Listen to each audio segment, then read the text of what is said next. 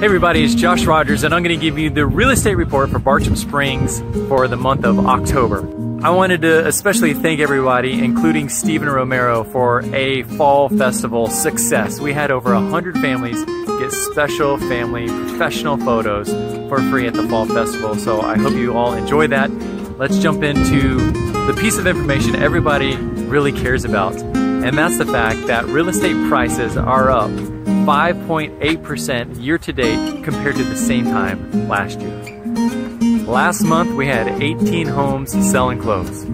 Eight homes went pending under contract. There were eight new homes that actually hit the market, which makes a total of 31 homes active for sale.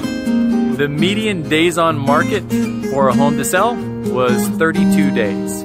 Now, next things to keep an ear out for is our Christmas caroling that we're going to do in Bartram Village, and then also partnering up with the Bartram Springs CDD. They're having Pictures with Santa, and we're proud to be able to sponsor those free photos for all the residents. So those are the two things to keep on your radar. Everybody have a great Thanksgiving. I appreciate you. We'll see you around the neighborhood.